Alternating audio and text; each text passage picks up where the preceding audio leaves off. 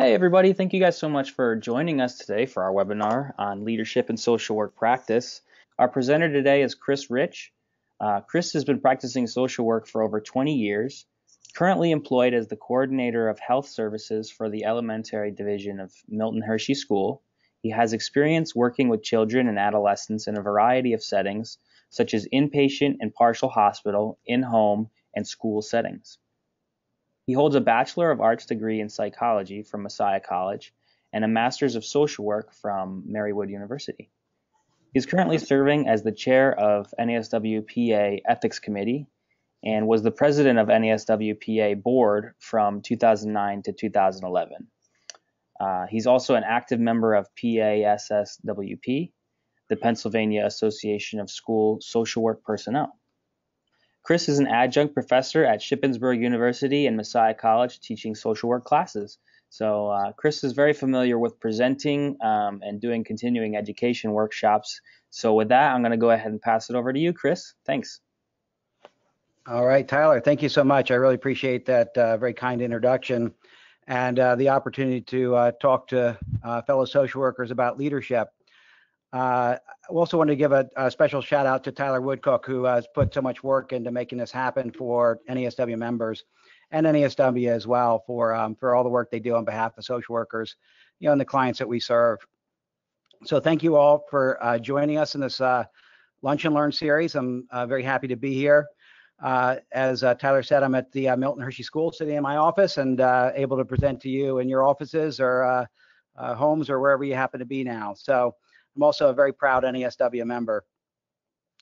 Wanted to talk about leadership uh, because I see every day that um, you know that that more and more there's a need for social work leadership out there. Our clients, our organizations, our communities, and our society um, need the skills that you all present, and we need to be stepping up as leaders um, in these areas of need. Uh, so we're going to be talking about leadership today. I think um, there's three uh, reasons that I think social workers make great leaders, and, and I wanted to just to kind of highlight that um, and just encourage folks that as they as opportunities come up, you know, for leadership that they that they take advantage of that. Um, I think the first one is our training and systems theory, uh, looking at the whole instead of the individual pieces and how they they all the pieces kind of impact each other. I think that training is unique to us as social workers I think we could really leverage that, and that gives us a, um, a unique opportunity uh, to use our leadership skills um, to work with our clients and the organizations that we work with that we feel so passionate about. Uh, second thing is um, our commitment to ethical codes and our high practice standards.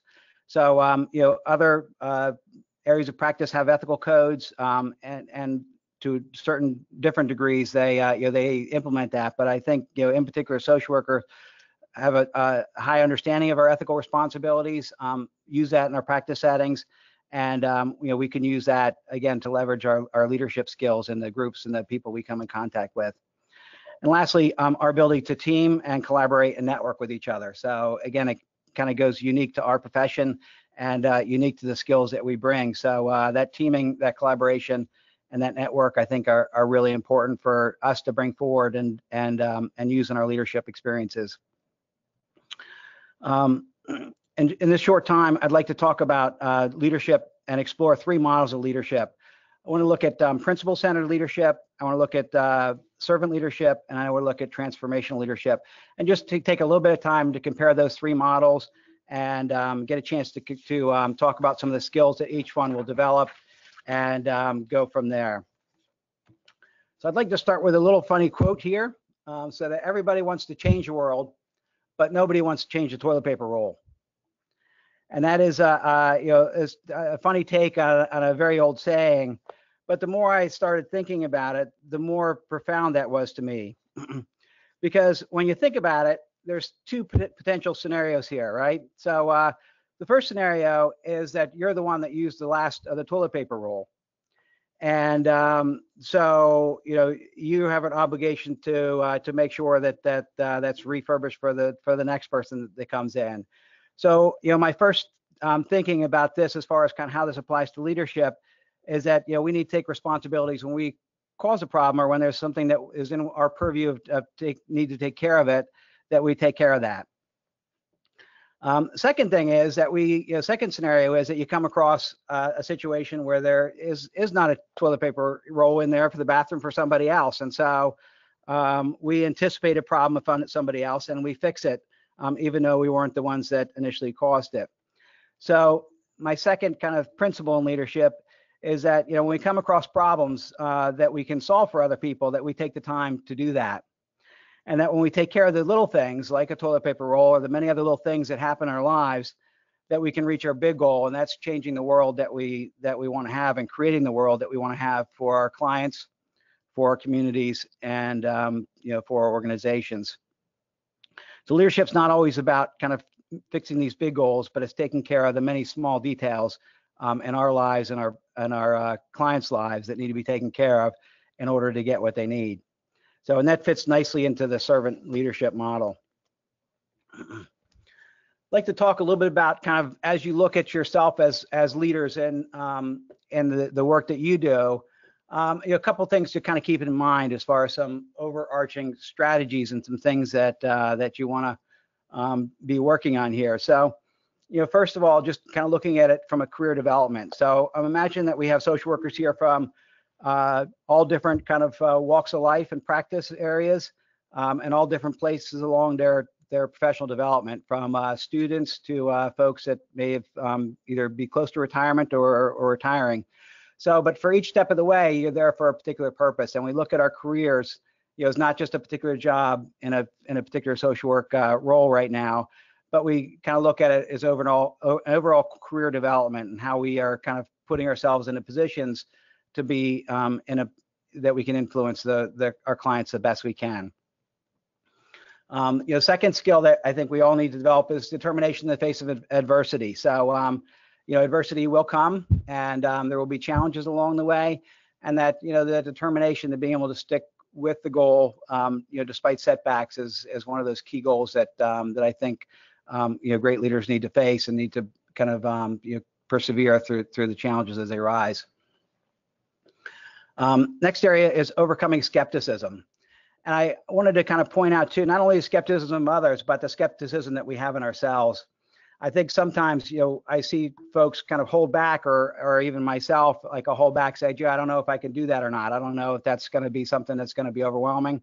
Um, that um, you know, we take the the leap of faith to um, you know, to give it a try, and um, you might find out that um, that you have more leadership skills than than you think one of the things that prompted me to do this was reading um, Sheryl uh, uh, Sandberg's uh, book on um, Lean In, and that's one of her kind of key principles. And I that's one of one of the things I wanted to share with you is that uh, you know oftentimes you might not feel qualified or might not you might be second guessing yourself, but uh, you know once you step forward, um, you find out that uh, that that you can kind of handle some leadership responsibilities that you might have um, not thought you could.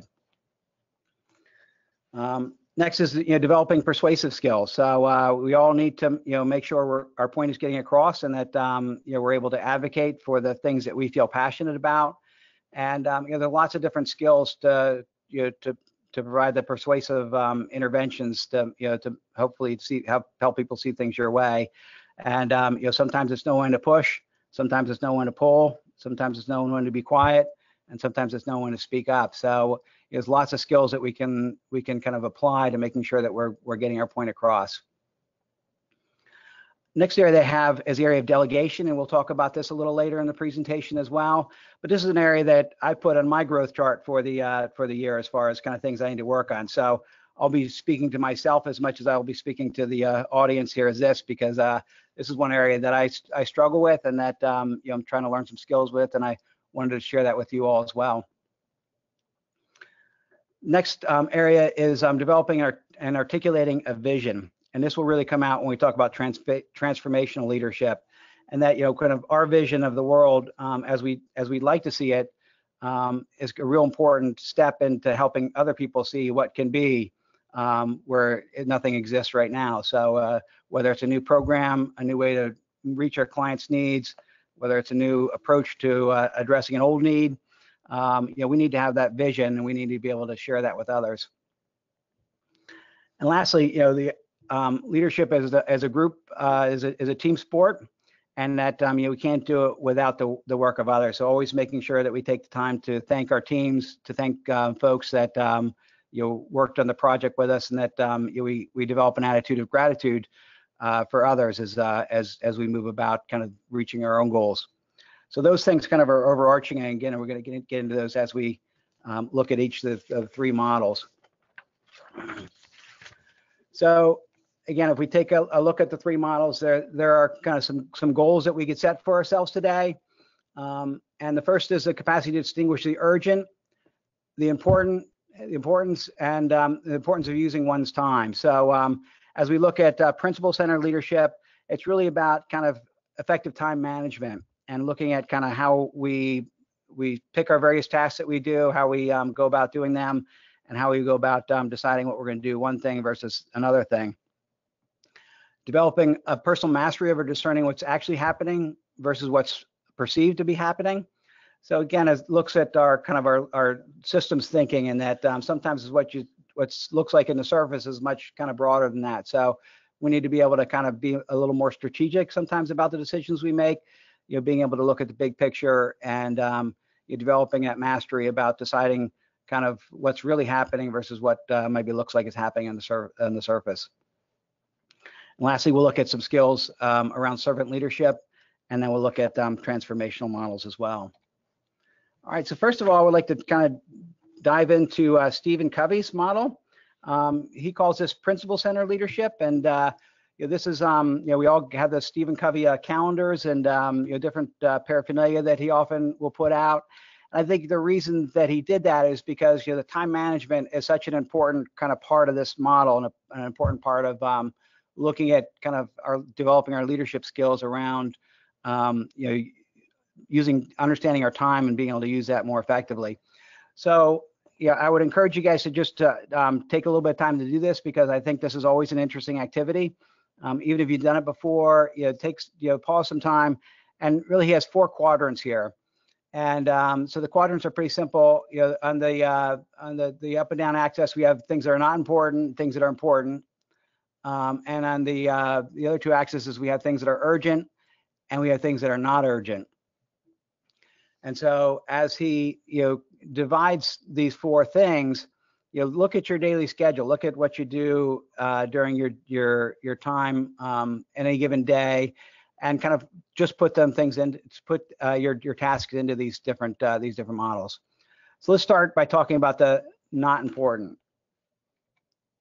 So um, these are things like interruptions, uh, some calls that we get, uh, some mail, some emails that we get, uh, reports that we have to do that that sometimes might not you know go anywhere that they might get sent to somebody but it's not really used for anything important.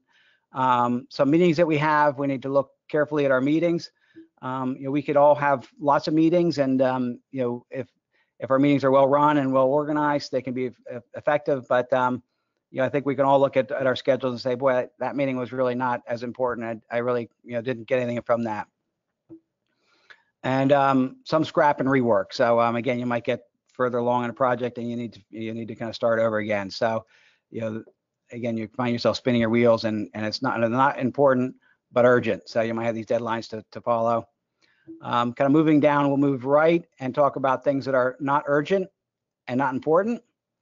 So um, these are the things that kind of uh, that kind of can can rob our time on a on a daily basis but um, you know we really don't gain anything from them. So um, I'll put for myself, uh, you know, browsing Facebook on this on this uh, uh, list there.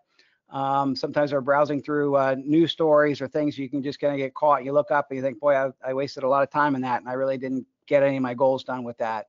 Um, things that are trivial, um, things that we consider to be busy work. Um, again, some mail that we get, some things that take our attention away. Um, you know, these are anything that we've kind of put in that category of time wasters um, or even sometimes pleasant activities. So I'm not talking about um, self-care that we need and, and we need to make sure we have time for that. And I would put that into the important category, um, but maybe not urgent. So, um, so we also need to make sure that we're, that we're taking care of ourselves. Okay, moving up, we look at things that are important and urgent. So these would be crises that come up, you know, things that come up every day that have um, kind of pressing deadlines to them um, things that um, kind of need to happen on a regular basis. Um, these would be you know, things that crisis are putting out fires, as, I often um, like to refer them to. And um, the uh, the issue with this is that um, if we spend too much of our time in this area, we never get to the important but not urgent. And that um, whenever we look at, at our models, you know, we need to kind of look at um, what we're doing down the road. So sometimes if uh, we're looking at prevention instead of crisis management, it takes a little more time. It's not urgent. It's not something that we have pressing right away. But the better we're able to kind of think ahead and start planning out how to avoid those crises and, and kind of putting in, in more preventative care, then the better off we're going to be at being able to address the issues long term.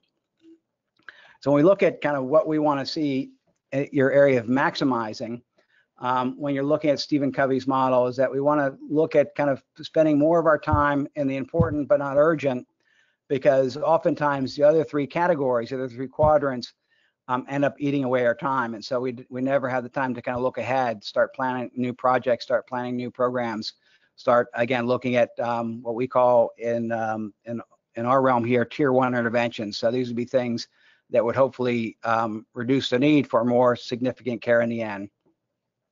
So, um, and this is oftentimes a hard sell for ourselves um, because our schedules get so wrapped up in the other three.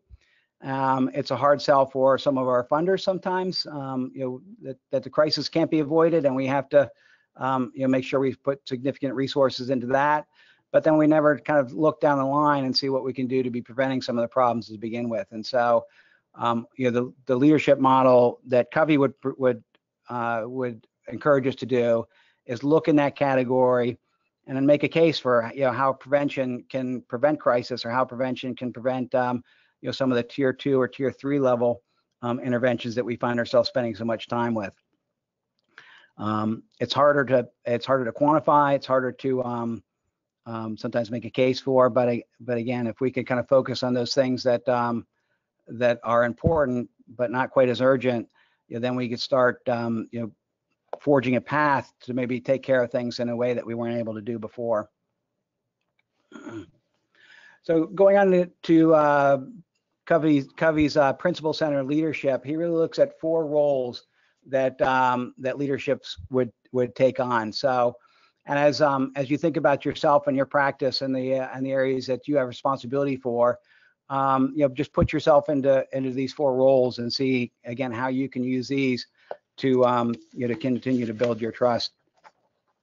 One of the things I, I like about um, Covey's model is that um, you know that we all have the same amount of time, right? So um, each of us have has our work days and our free time um, set up, and it's the same for everybody. But you know, some people are just able to leverage their time much better than others, and so you know when we're able to use time in our favor and be able to kind of you know get get a control of our calendars and get control of our our lives um, you know the better off we're going to be to to you know to reach the goals that we have. And a big part of that is setting goals and making sure you set your priorities. Because uh, you know there's there's a uh, um, Joe Biden said I, I heard a quote once I really liked is that if if everything is important then nothing's important. And that um, when we set our goals we need to make sure we we prioritize what's what's most important to get done.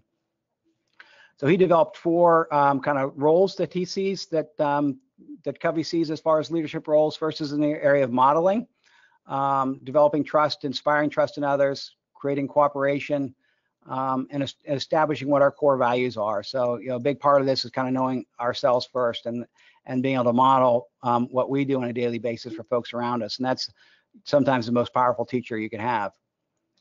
Um, next area he would recommend um, us working on is, is uh, pathfinding, um, creating order. Again, kind of being able to look down the road and um, you know helping our clients, helping our colleagues, uh, helping those folks that we have come in contact with, um, see the path of where we can be going, and helping to people to, helping people to see what what can be. Um, part of that's establishing ownership of the of the model that we have and you're helping people um, invest in, in, in, in, what your ideas are. Um, the next area he would have would be in the area of aligning. Uh, and this would be creating um, a structure and kind of making sure that you're kind of working alongside others. And so that our work is not um, independent of others. Sometimes when I teach, you know, we sometimes we give group assignments and um, you know the students um, all hate the group assignments and they think, well, you know, why do I have to be responsible for you know somebody else's work. Uh, I want to be responsible for my own work. And I usually come back to them and talk about you know, that that none of the jobs that I've ever been given, they say, you know, go complete this on your own and come back and then give it to, to us and we'll and we'll consider it done. Everything requires um, alignment and requires to be able to kind of fit into a, a larger system. And so we need to be really good about aligning what our, our goals are with other people that we have contact with, make sure that that it fits into what they're doing and, and that everything fits together. And lastly, he would look at empowering. So, um, you know, making sure that people are empowered to make the decisions they have, and that um, you know we look at unleashing our human potential of others. And so, it's not only about our own personal development, but it's about developing others around us, helping them be their best selves, and uh, helping us be our best selves as well. So that's essentially the um, the Covey model in a very very uh, kind of brief um, description of what what Covey's about. um, two areas of that uh, that that he would look at as kind of being primary importance. One is developing the capacity to distinguish the urgency from the importance, and effectively using one's own time to um, to set goal, goals and move forward. And then the last uh, thing he would suggest would be developing a, um, a personal mastery of systems thinking that allows the underlying causes of problems and concerns to become the primary focus of leaders.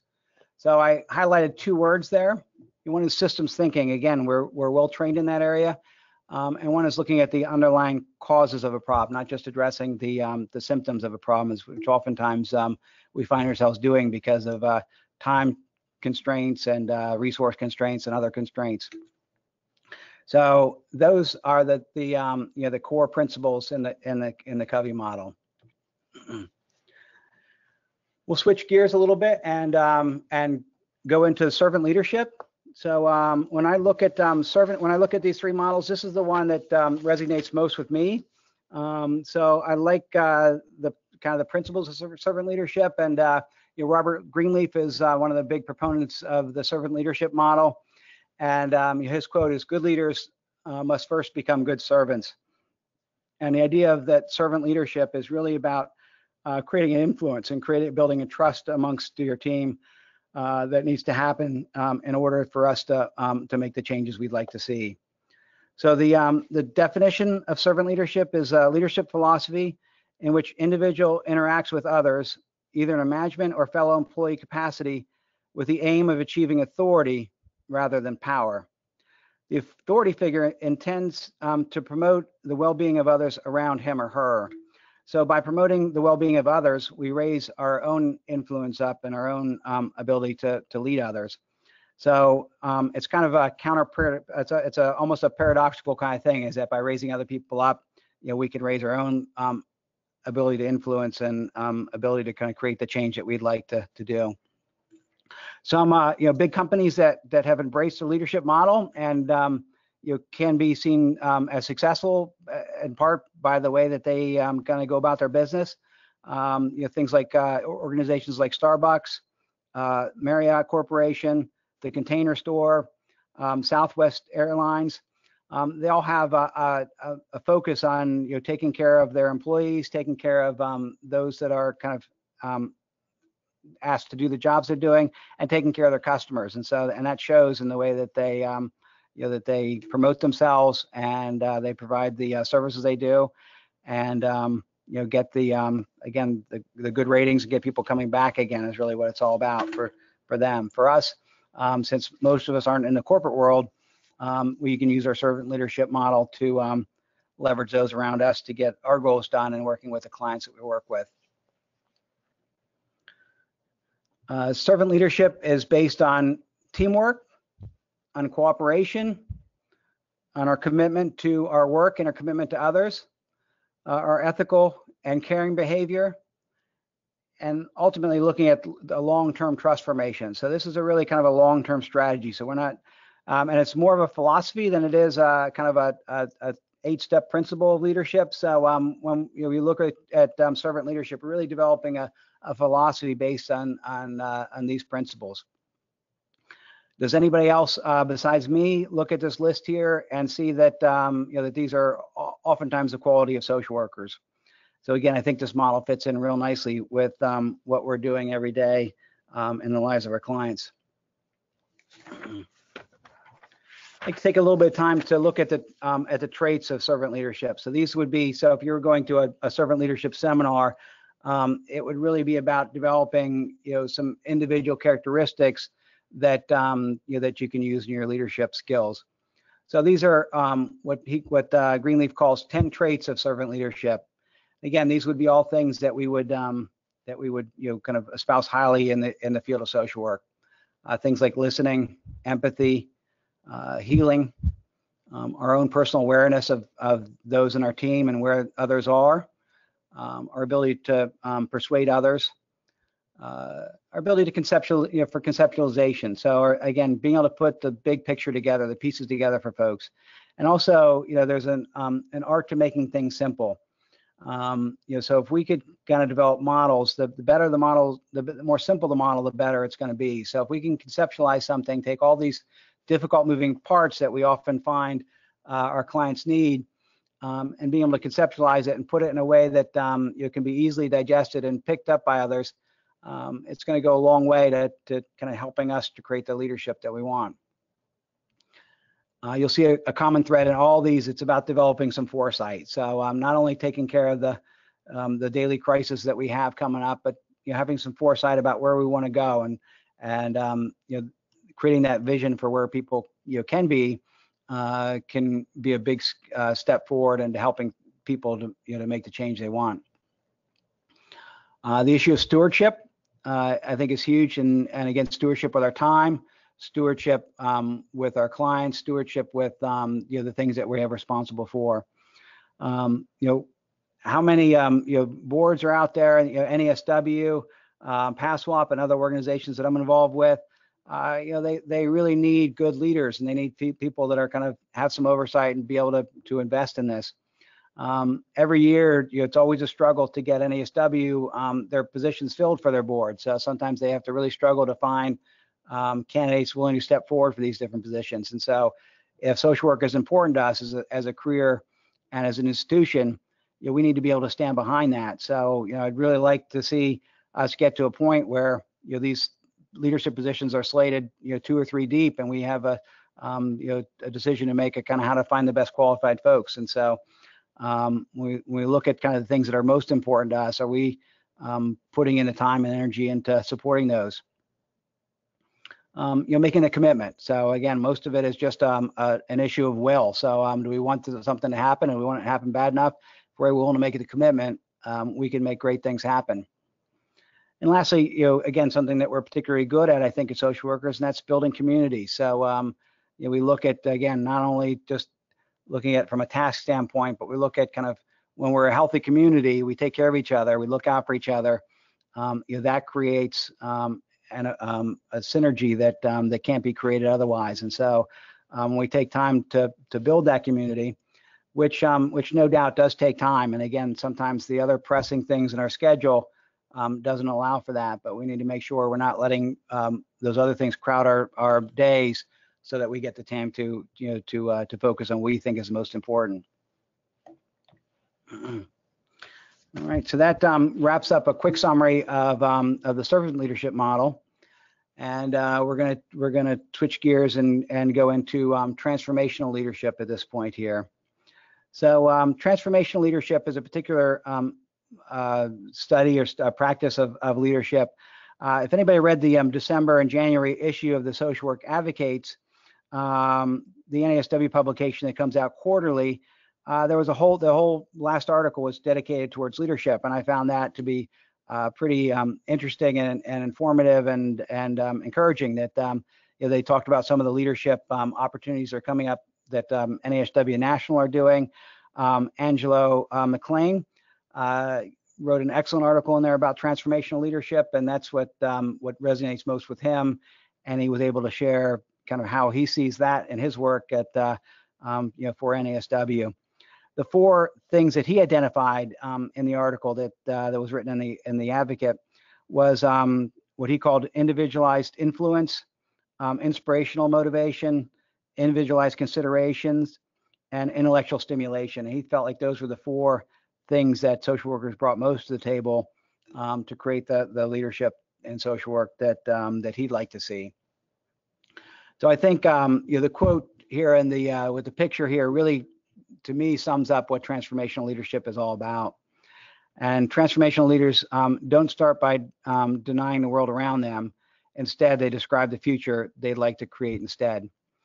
And um, you know, when you think about transfer, transformational leadership, the way I, I, look at this, oftentimes, it's a lot like an architect or a um, a a draftsperson.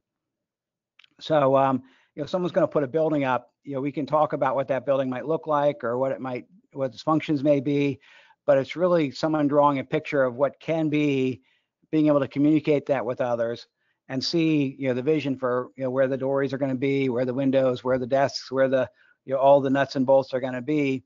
Um, that needs to happen before that building ever gets created. And um, you know, transformational leadership is really um, you know the architect of of leadership, and that that is somebody kind of creating a picture for somebody of what can be, um, being able to describe that or share that in a way that others can kind of buy into it, um, and then people then can get to the work of building the building um, or building the um, you know the the model of the uh, you know the for your clients or for, for, what you're doing. Another quote that I like that comes from the um, transformational leadership uh, model quite a bit is um, if our work is sacred, then so are you. and uh, again, I don't think we think of ourselves like that sometimes, but the work that we do as social workers, the work that we do on behalf of our clients, uh, I would definitely put in the in the sacred realm, and that um, you know that um, you know that you're sacred too as far as the work that you do, and that so we need to make sure we honor and cherish that as um, as we look at ourselves and look what we look what we provide every day. So when we look at transformational leadership, um, this model here really sums it up very nicely about kind of what our goals are, what our role is um, to become transformational leaders.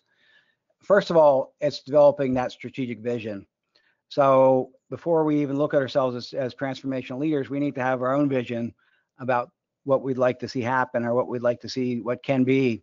And so we need to take um, some time to kind of sit down and um, do some introspection and develop what our own personal vision is um, and develop our own, um, you know, our, our vision for, you know, organization, for our uh, community, for our clients that we work with. And that once we have that vision down, then it's a matter of being able to share with it, share with our, share our vision with others. So the second part of that, so we're working kind of our top down to the right, um, we need to be able to communicate that vision then. So um, once we've developed our, our own personal vision, we need to um, you know to communicate it. And um, oftentimes, what one of my colleagues here is that uh, we you know say it loud, say it often, and say it frequently. And um, so we may feel like a broken record. And um, you know, and if that's the case, and then you're probably getting your word out there because um, you know people need to hear the message more than one time.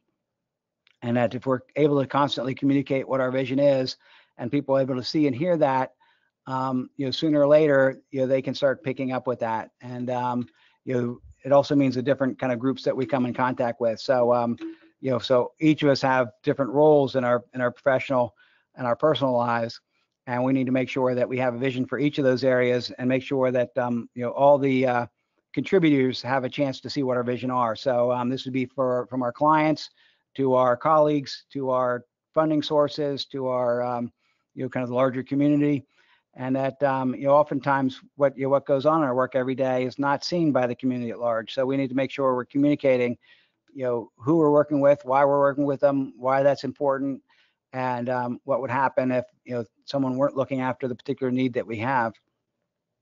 So that communicating our vision is is so critical in our work every day.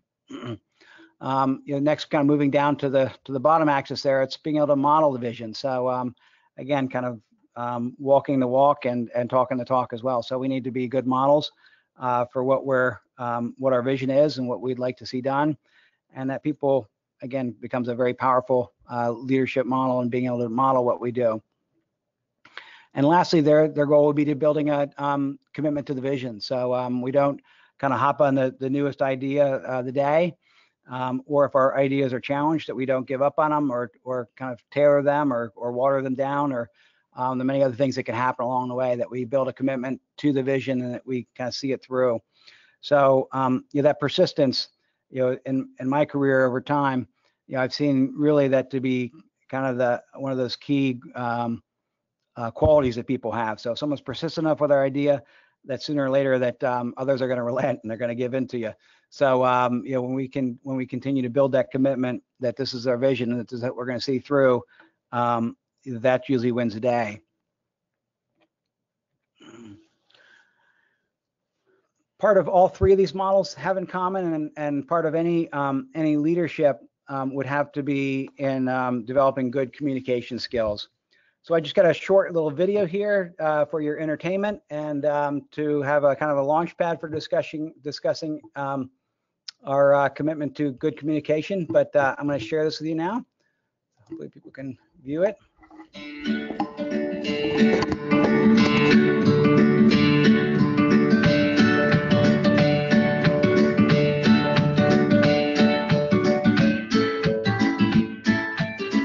What can I get started for you today? Uh, what size? All right. Three venti lattes. Uh, would you care for a pastry? Nope. Oh, mocha. Three mocha lattes. Uh, double chocolate chip muffin. Yum. Ah, you want three Paul McCartney CDs? Awesome. I love the Beatles. They are my life. So good. Whatever you do. Assassination. Abraham Lincoln. Uh, uh, you, you, me, gun, shoot. Oh, yeah. Three shots. I know, I'm a little slow today.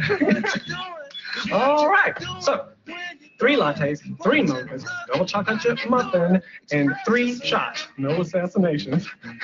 oh, and three Paul McCartney CDs. That's going to be 6812.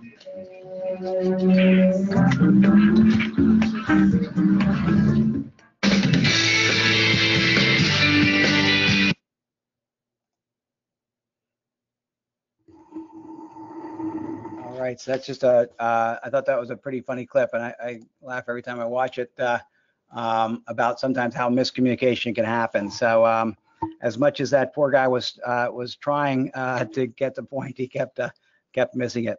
And um, you know, and I've been involved in a number of different um, communication missteps that uh, I've learned some valuable lessons with. So, you know, we can't overemphasize the importance of of uh, developing good communication skills. And so. And sometimes, despite our best effort, when we're trying to hear what's going, what the point is, we uh, we we can miss the boat. Um, so a few, I think, important lessons um, from communications that we all need to kind of pay attention to. And that's uh, perspective taking. So being able to understand someone else's perspective, where they're at, maybe what blind spots they have, and being able to kind of see their um, their their position. Um, as much as I would like to say that um, that myself or, or, social workers in general are good listeners, um, I've watched many interactions or been part of many interactions where you know listening is kind of in short order, and uh, so it's something that I need to make sure I remind myself of, and I think we need to kind of constantly remind ourselves that uh, that we need to be much better listeners than talkers, and that um, you know we can't overemphasize how much um, you know, we need to stop and listen to people's perspectives and, and uh, people's perceptions and, um, you know, and how um, valuable that is. And so sometimes we, you know, our first inclination is to think what we have to say next. And so we forget to listen to others. And so, um, you know, something we always need to kind of remind ourselves of on a regular basis.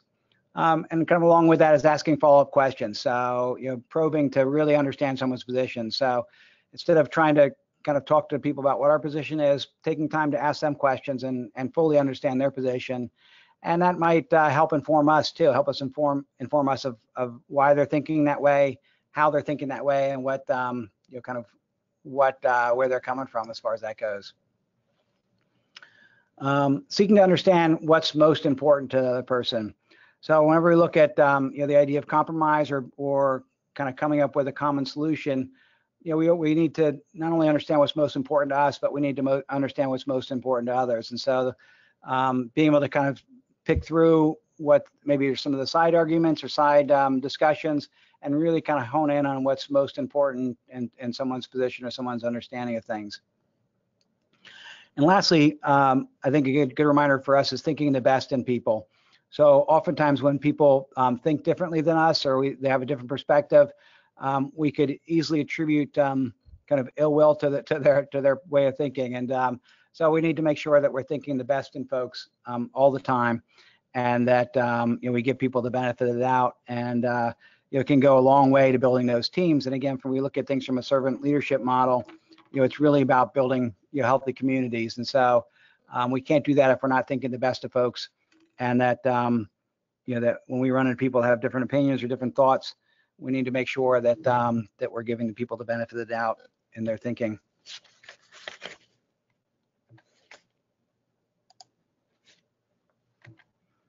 Okay, oh, there we go. Let's talk about delegation here a bit, because um, I think it's an important thing. And again, as I as I um, shared with you earlier, that this is a skill that um, that I'm trying to work with myself here. And that um, this quote I came across, and I wanted to share it with you all. Uh, you can do anything, but you can't do everything. So um, that really kind of became became my mantra, and that um, you know, delegation is really about kind of finding out how to get others involved in your mission. And so again, from a leadership standpoint, the, the more people you can get involved in the work you're doing, you know, the more effective you can delegate, and the more things that you can get done um, that you want to get done. So um, oftentimes, you know, you might be in a small organization. You say, who am I going to delegate to? But again, we look at kind of broadening our net. And we look at people that are like-minded, maybe people, other organizations that have similar goals, and that you really start kind of figuring out how to divvy up the work. Also came across this this quote that um, again kind of became uh, has become my mantra this year, and that um, the and under, you know help me to understand why delegation is so important. So the great leaders spend the majority of their time doing things that they are uniquely qualified to do. So we each have our our own uh, you know kind of unique skill sets, and uh, you know kind of from a strength model, we really need to be looking at what we're strongest at, what we can do best at. So um, I would challenge you to look at your schedule and look at all the things you do, and and you can ask yourself, and when I do this, I I can become convicted myself. Is that am I doing the things that I'm uniquely qualified to do, or am I doing things that that others could be doing as well, or others could be doing just as well as I can? So um, we have a lot to offer and that um, you know part of being you know developing our leadership skills is being able to figure out what we're uniquely qualified to do what we what piece we bring to the puzzle here and um, bring that best piece forward. So um, the whole idea of um, you know quality over quantity. So um, we might be doing lots of tasks but um, going back to the you know the principle center model we might not all put them into the into either the urgent or important category. And so can we look at some tasks that we do that um, maybe don't fit that bill. So um, in wrapping up here, I just wanted to talk about your commitment to leadership, and I, and I speak to myself in this as well. So what um, commitments are you willing to make as far as leaders go, and what commitments am I willing to make as, as far as being leader? So I would say, um, you know, these would be my challenges to you, to use your skills to increase the um, effect, effectiveness of your work, um, and you're carrying and carrying out the mission. Um, uh, for me, it's MHS, but um, the mission that you have, and you can fill in the blanks of whatever you happen to be involved with. Um, to continue to develop your leadership skills, it's certainly a worthwhile project. We, I think, are all in the process where we need to be continuing to develop ourselves to be the best selves that we can put forward. And so we need to develop our leadership skills, and that's certainly an important thing to do um, that we need to influence others to bring out um, their best selves. So um, when we work with our colleagues, we work with um, those around us, we need to make sure that we're bringing out not only our best selves, but helping people bring their best selves to the table as well. And lastly, to do everything that we can do to change the world for our clients and take the time to change the toilet paper roll and all the small tasks that we need to do um, to make sure that our organizations are being well run. With that, I'm going to leave it open for the last uh, 10 minutes here or so to have maybe a larger discussion, uh, to have some questions and comments. And I'd be curious about one, which of these models you feel um, resonate with you most, um, or if anybody has any experience with them or stories to share about um, your own leadership development, I, I would love to hear them. So Tyler, I'm going to turn it over to you for questions. Yeah, thanks so much, Chris. Um, I just want to remind everybody if you do have questions, go ahead and post those in the questions section, and uh, we'll try to get to get to those. Uh, we have time here at the end now. And I also just want to let everybody know um, we did have a few people ask about handouts for this presentation. Um, Chris is going to let us uh, let me go ahead and send out the PowerPoint. So I am going to um, send that out in a follow-up email later today. So just uh, be patient with me, and I'll get that to everybody as well. So you'll have the handouts to reference later. Um, as you were going through the presentation, Chris, I thought that was just really interesting. And as we're waiting for questions to come in, if anybody has those, um, I thought it was interesting the different models, and I I was just like thinking, you know, is it do you think in your opinion that it's important for certain people to focus on certain types of leadership more than others based on like their personality or just kind of what comes more naturally to them? Yeah, actually, that's a, a great question, Tyler. Because I, I, um, I think sometimes we have this perceived notion of what a leader is, and so oftentimes we have this this this idea that it's a charismatic person that needs to be in front of everybody all the times. And um, I really would, uh, you know, encourage folks to really expand their, um, you know, their idea of what uh, what a good leader is. And when I talk about leadership, I'm not always talking about kind of the CEO, the CFO of an organization, but it's the leadership in our groups, the leadership in our teams, the leadership that we have with our clients. So really, it's the it's the small L that that that I really think um, that we could be focusing on, and and as you said, bringing out kind of your leadership skill uniquely qualified um, will not be what makes somebody else. And so when we're able to leverage that, when we're able to see ourselves as leaders and see ourselves as being able to bring you know a, a unique kind of quality and skill to the to the situation, um, you know then we're kind of using our leadership skills. And so there's no one way to go about doing that. Um, Marcus uh, Buckingham, I saw uh, him speak once on leadership, and and yeah, that's exactly what his point was as well. And I, I really appreciate the way he put it. He's good because he he interviewed um, what uh, kind of the, the, industry identified as great leaders, and he asked them what makes you know what makes your leadership style so qualified. And um, each of them had their own little kind of pet project or pet way to kind of look at their leadership. And um, and is what he really kind of tied together is that is that leadership is really being able to unique to leverage your unique skills. Um, and um, you know that was so important to me because you know the, as what he said is that you know if someone else tried to do what the other leader did, it would fail miserably because it wouldn't be theirs. They wouldn't feel kind of invested in it. They wouldn't be able to take some ownership of it. So it didn't really matter what they were doing, but it's a matter of kind of how they were going about doing it, and it, and it was important to them, and they were to convey that importance to their team. And so even though that the uh, styles were were vastly different, is what they had in common was that um, you know people was able to leverage their own skills, their own leadership style to uh, you know, to get the point across, and that that's what made them great leaders. Not necessarily what they did, but it's how they did it. Yeah, very cool. Um, yeah, we're getting a lot of uh, people writing in just with positive feedback, and so thank you everybody for you know the kind words, and and Chris, thank you again uh, for you know coming presenting and everything. Very everybody's saying it's very informative, presented well. So thanks again. Um, I also you know we have a couple questions here. So, and some feedback. Uh, I enjoyed the concept of a leader consistently doing the things that they are uniquely qualified to do. When one typically thinks of a leader, they think of the same qualities and emulating those certain qualities. So that's kind of just piggybacking off what you already said, Chris. Just that idea that you should be focusing on, you know, the things that you're good at and you're you're passionate about. Um, all you know, somebody else saying all models have something valuable uh, that they would recognize and adopt, but servant leadership spoke the loudest to them. Um, all, all three models seem important to work with. Do the authors present them as complementary or independent? How do you work with all three? I think you spoke a little bit on that, but do you have anything to add? Yeah, that's interesting. And, and um, you know, I've been to, to seminars in all three of these areas, and um, I've never seen them kind of side side by side. So that's one of the things I wanted to do is really just put them kind of alongside each other to um, you know, take a and take you know take the best of, of, of all three of them. So because I think they all they all have something to contribute. Um, I think they're all fairly um, unique in the way that they kind of present themselves, but I think we can take um, you know lessons from all three of those. And so um, so my hope would be that um, you know that you would you know you'd probably find a model that kind of fits best with you, and there's a lot of other models out there. But also um, you know you take what you, you know you taking what you can get of each one and incorporate that into your practice. The 10 traits of the servant leadership that you showed, um, somebody is saying, is everything about being a social worker. They think, you know, it's necessary to be effective, which I totally agree with. As you were reading those traits, I was thinking, Yeah, this is you know this is social work 101 right here. So very cool. Um, really is.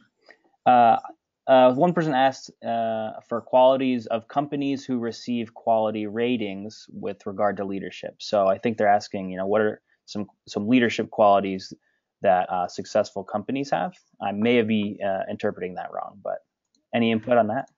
Yeah, you know, one book that I uh, did not put on the um, on the list there, and I'll send this out to Tyler. We haven't gotten there yet, too. I'll share some books that are that are, that have been meaningful to me through the years. One of the things I don't actually, I'll put this on before I send it to Tyler, but uh, it's a book that's real simple. It's got a, a, kind of a funny title, and it's um it's called um, "If Div- Disney Ran Your Hospital," I think, or your organization.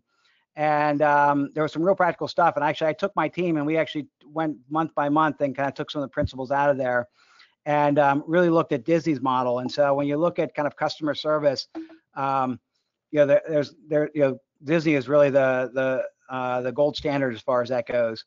And one of the things in the book that was kind of uh, meaningful to me is that uh, you know the Orlando Police Department kind of adopted it as well. And uh, you oftentimes don't think about things like police departments being particularly interested or um, uh, caring a lot about customer service.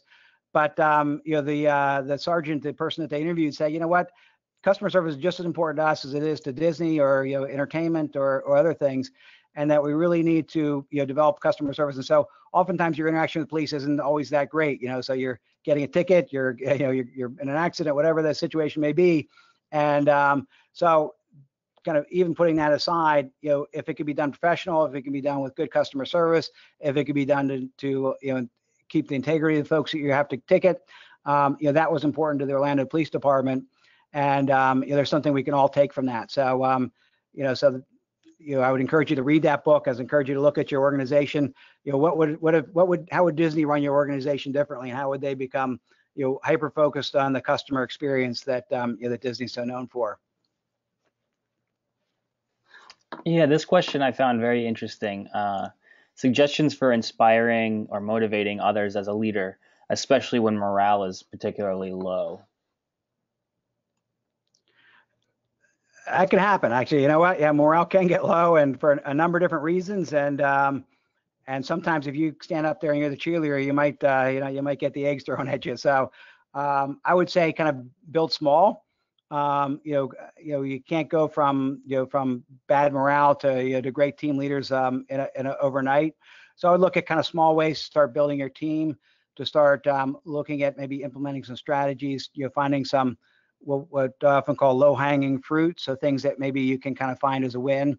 Um, you know, finding some uh, some effective teaming um, activities that you can do that um, that might start building some of that trust you need because morale really becomes an issue of trust. You know, people aren't listening to me, people aren't hearing me, people don't know how hard my job is. Um, so all those things could be very, um, you know, kind of um, just deflating and, and disheartening and they could make us just go through our practice without um, you know kind of keeping that passion we we once had. And so and it's also contagious. So um, I would say start small and and see what uh, if you can build some small wins with your, with your team. Yeah, and even going back to the communication, you know, portion of your presentation, seems like communication is so huge for to have good morale in an office place. Absolutely. Uh, any thoughts on how a social worker can lead oneself into sole proprietor business model? Maybe like a private practice or something like that? That's an interesting question. Yeah, you know, I, I imagine that um, I'm I'm not a, uh, in a sole practice, but I imagine that could be a fairly lonely um, place to be, where you're kind of working on your own and um, and uh, you don't have your colleagues to to work with. So um, so I think, and it would be easy to get um, you know kind of um, you know isolated from the rest of the profession and feel kind of isolated from from others. So one is I would encourage you to reach out to others to you know to look for networks, um, you know through NASW or other professional associations. I think are a good way to kind of keep fresh.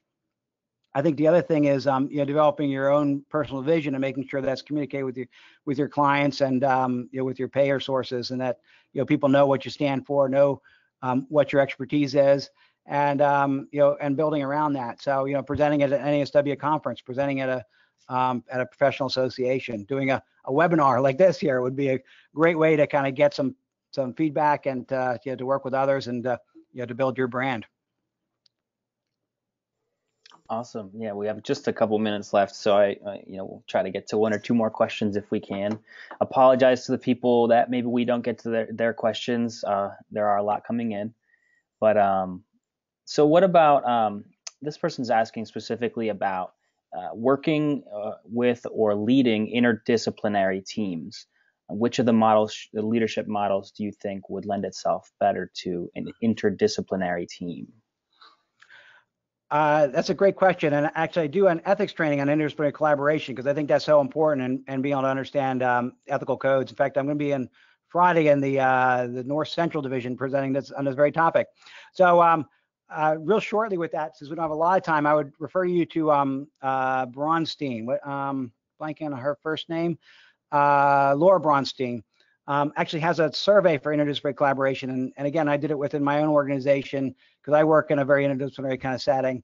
And um, you know, found it to be very enlightening. And, and we looked at kind of that that model. So there's a, a survey. Uh, I think it's called interdisciplinary collaboration. I'll try to include that link as well. And um, you know, it can be important to look to work you know across uh, across departments, across divisions, across uh, um, disciplines, and that. Awesome, and along with that, um, that reference you just made, you know, we'll we'll be sending out again. We'll be sending out these slides a little bit later today with a follow-up email, so you guys can see, you know, all of this and um, and these. I think you have some references at the end of your PowerPoint, too, right, Chris? I, I do. Yep. Yep. Awesome. Awesome. Okay. Right now, so these would be some books I would recommend. Um, again, I'll add the um, I'll add those other two references we talked about. Very cool. Okay, great. Well, I'll get that from you and send it out then, so you guys will have that. Um, we are hovering right around 1, 1 p.m. here, so we'll probably wrap it up. Uh, thanks again to Chris for taking the time out of your schedule. Um, and just so everybody knows, these webinars are, are volunteer based. So Chris is doing this purely out of the goodness of his heart and uh, maybe a little bit of practice for himself for presentation and stuff. But uh, we definitely appreciate you taking the time to be here with us and and for uh, you know teaching. We have a lot of positive feedback coming in um, from people. So thank you, Chris. Absolutely. Thank you, Tyler. Couldn't have done this without you here. I tell you, make it you make it easy.